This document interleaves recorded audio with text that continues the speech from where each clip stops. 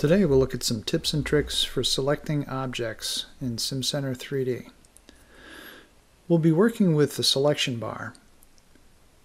Make sure that it's on by selecting the check next to the selection group and then we can select different objects that we'd like to customize to include or not include in the selection bar.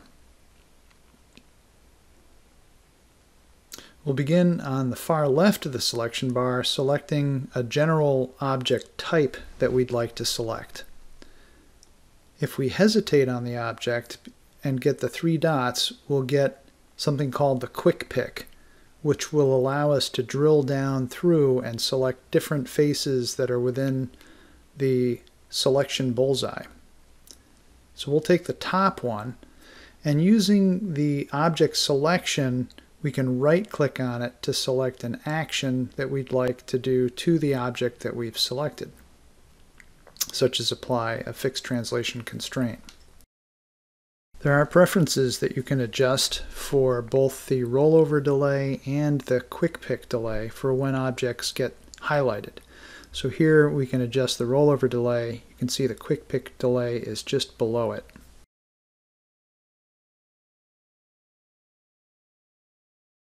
All right, so next, instead of selecting the object first, we'll select the action that we'd like to take, which is to create a fixed translation constraint. And then we'll select the object with a rectangle. And this will gather the faces that are within the rectangle. I'll go ahead and deselect that. Next, uh, we'll try the lasso select technique. There you can see we get the faces within the lasso and we also have a circle.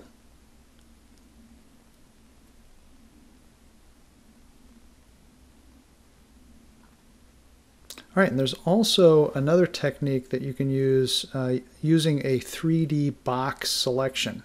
We'll begin by selecting an object to create an initial box around, and then the type of objects we'd like to gather within that box, which is going to be the polygon faces.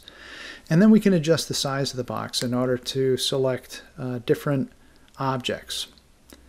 And here you can see we have uh, the box selection rule is inside crossing. If we change that just to inside, you can see that we just get the faces that are completely within the box. We can also invert the selection if we want. And then upon selecting OK, you can see it collects those six faces for our fixed translation constraint.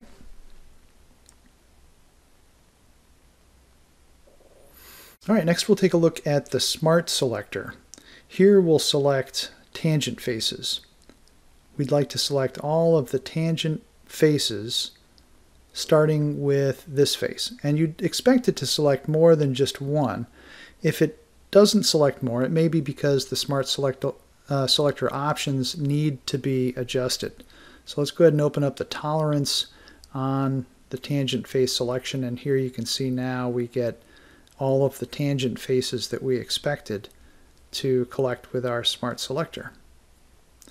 We have another option here with uh, the Smart Selector that we'll take a look at as well with tangent continuous edges. There are many others as well which I encourage you to explore. Here we'll select some tangent continuous edges that we'd like to apply a constraint to. Now let's say that we make a bad pick. We want to keep the other first two sets of tangent continuous edges. If we hold down the shift key and mouse button 1 we can deselect just that selection.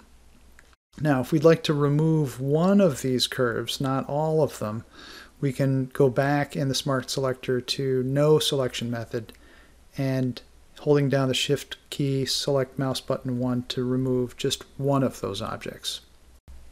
And that concludes the demonstration.